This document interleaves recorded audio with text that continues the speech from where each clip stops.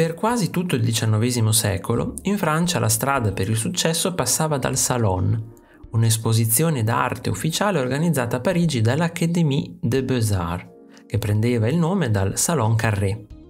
Il Salon raggiunse il massimo splendore nella prima metà del XIX secolo e divenne il luogo dove un artista poteva costruirsi o distruggere la propria reputazione.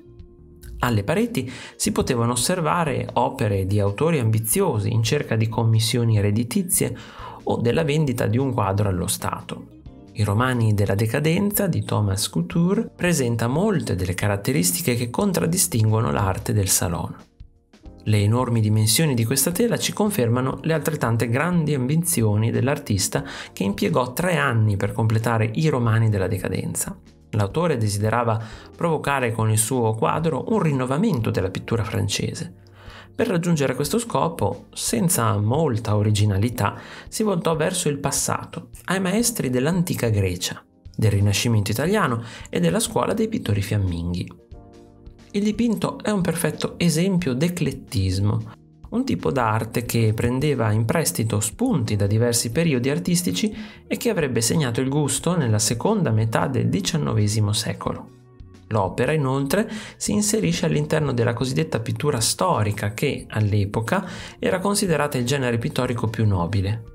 Questo tipo di pittura cercava di fissare nella tela azioni umane del passato, dalle quali poter ricavare un messaggio morale e il risultato è ben visibile in questi grandi romani decadenti. Qui i nudi sono all'antica, ovvero conformi all'ideale di bellezza degli scultori greci. L'architettura si rifà alle opere di Veronese, pittore italiano della Repubblica di Venezia, e in particolare a quella che fa da sfondo alle nozze di Cana.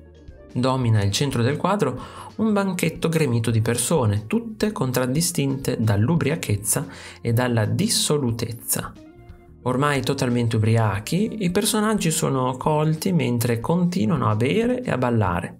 In primo piano tre uomini non partecipano a questo festino.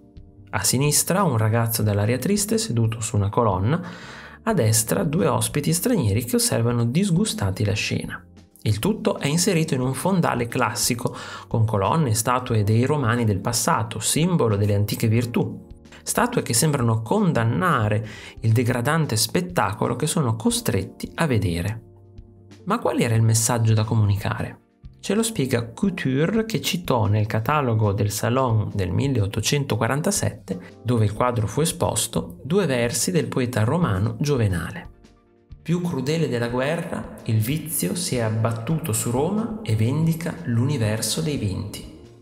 I salon erano esposizioni periodiche di pittura e scultura che si svolgevano a Parigi e Couture colse l'occasione per rivolgersi con quest'opera alla società francese del suo tempo.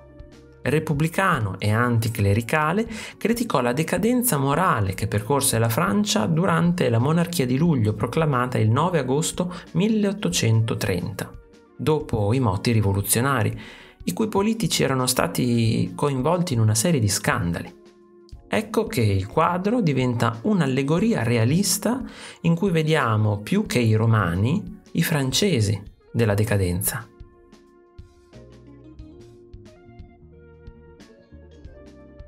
Se ti è piaciuto il video iscriviti al canale, lascia like e condividilo con i tuoi amici. Ti invito anche a visitare il mio negozio un saluto e al prossimo video di Arte Esplorando.